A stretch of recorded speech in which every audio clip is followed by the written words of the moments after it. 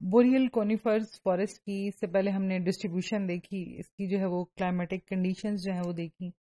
अब जो है वो इन बोरियल कोनिफर्स फॉरेस्ट का जो है वो फ्लोरा और फाना जो है वहाँ पे कैसा है उसको हम ज़रा डिस्कस करते हैं। बोरियल कोनिफर्स फॉरेस्ट के अंदर जो है, जैसे कि नाम से ज़ाहिर है, कोनिफर्स फॉरेस्ट तो कोनिफर्स हमेशा कोन बियरिंग फॉरेस्ट होते हैं, जिसके ऊपर जो है वो कोन्स लगती हैं। और ये जिम्नोस्पर्मिक जो है वो प्लांट्स होते हैं जिम्नोस्पर्मिक जो प्लांट्स हैं, उनको हम उन प्लांट्स में शामिल करते हैं जो एवरग्रीन है नीडल लाइक ट्रीज हैं उनके, और उनके ऊपर जो है वो जो सीड्स हैं, वो हमेशा नेकेड फॉर्म में जो है वो होते हैं। मीन्स के वो फ्रूट के अंदर इनक्लोज नहीं होते हैं। तो ये जो है कोनिफर्स फॉरेस्ट इसमें इसी करेक्टरिस्टिक के प्लांट्स जो हैं वो पाए जाएँगे कि एवरग्रीन होंगे जिम्नोस्पर्मिक जो है वो ग्रुप से ताल्लुक रखने वाले होंगे ड्राउट रेजिस्टेंट होंगे, जो है वहाँ पे चूँकि रेनफॉल कम है, लिहाजा उनकी जो रूट्स हैं वो बहुत डीप हैं कि वो सॉइल से जो है वो मॉइस्चर और अपने असेंशियल एलिमेंट्स को जो है एब्जॉर्ब करें और जो है वो ग्रो करें।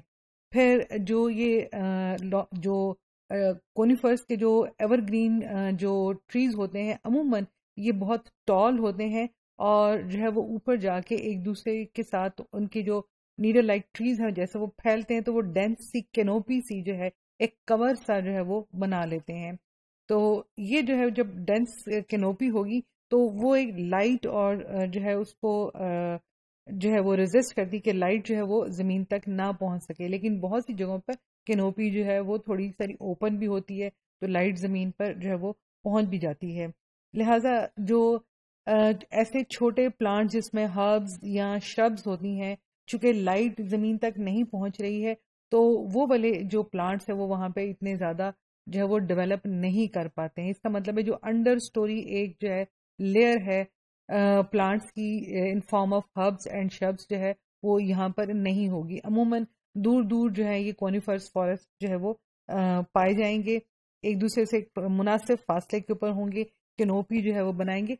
सम टाइम जो है कुछ ऐसे कॉनिफर्स जो फॉरेस्ट होते हैं, जो कि सुपर स्टोरी जो है वो बनाते हैं। मीन्स वो इससे भी ज़्यादा एक नॉर्मल हाइट वाले कॉनिफर से भी ज़्यादा ऊपर जो है वो चले जाते हैं, लेकिन वो फिर एक डिसकॉन्टिन्यूस फॉर्म में पैचेस की फॉर्म में कहीं ना कहीं जो है वो प्रेजेंट होंगे।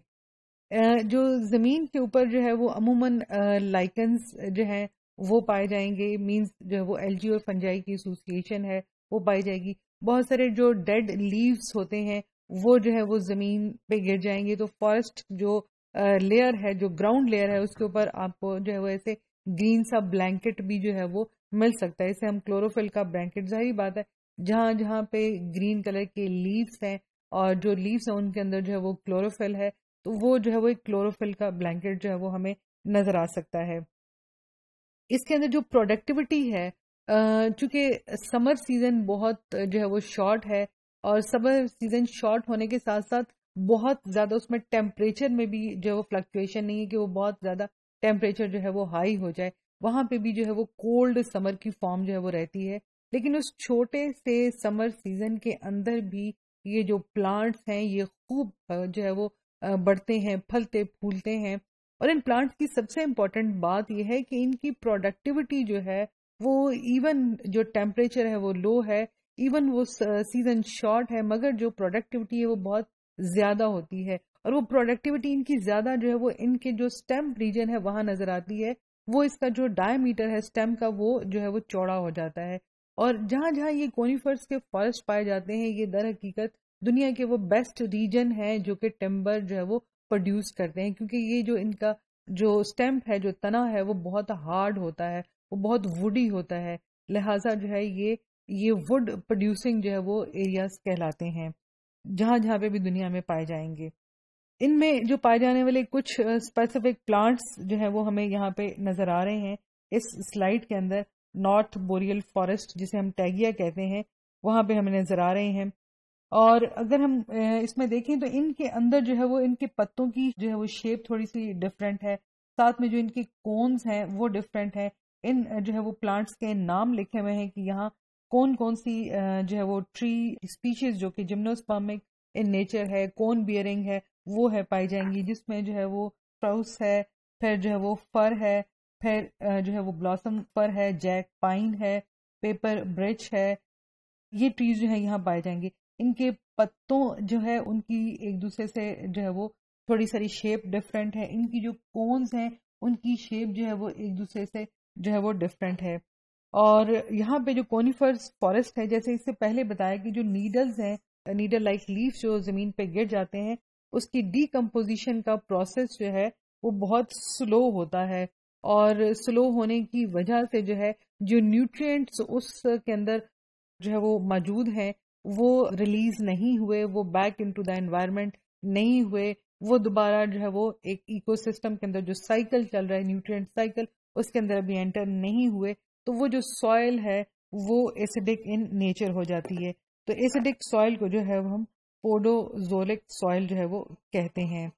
ये जो कोनिफर्स फॉरेस्ट का फाना है, जैसे इससे पहले बताया था कि जैसा जो है, वो क्लाइमेट होगा, वो वैसे ही जो है, वो ट्रीज या प्लांट्स जो है, उसको सपोर्ट करेगा, कि वो वहाँ पे ग्रो करें।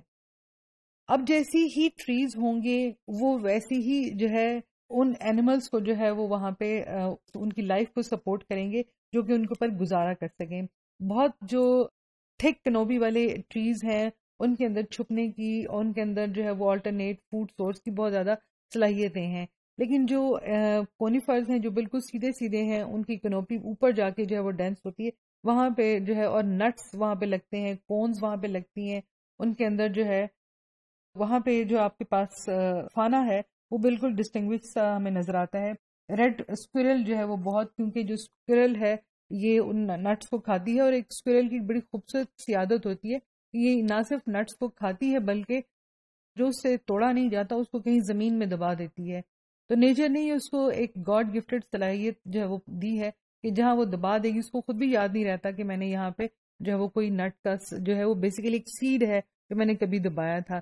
इस तरह जो है वो विदाउट ह्यूमन इंटरफेरेंस जो है वो वहाँ पे दोबारा जो है वो प्लांट वहाँ पे उग जाएगा उसको जो है वो इकोलॉजी जितने फैक्टर्स हैं वो उसको सपोर्ट करेंगे और वो बिल आकर एक जो है ट्री बन जाएगा इस तरह जो है वो उन फॉरेस्ट की अंदर जो है वो दरख्तों का उगना जो है वो जारी रहता है वो स्पीशी की कॉन्टीन्यूटी जो है वो जारी रहती है वहाँ पे आपको जो है वो आउल भी मिलेगा वहाँ पे आपको जो है वो कॉकपुल भी मिलेगा वहाँ पे आपको जो है वो खरगोश भी मिलेगा, वहाँ पे आपको फॉक्स जो है वो भी नज़र आएगा, वहाँ पे आपको जो है वो लार्ज हर्बीवोर जो एनिमल्स हैं वो भी नज़र आएँगे, इनमें रेंडियर्स भी हो सकते हैं, इनमें प्रॉग हॉर्न्स भी हो सकते हैं, इनमें जो है वो इस तरह बारह सिंगे जो है, जो कि मेन हर्बीवोर एनिमल्स हैं वो भी होंगे।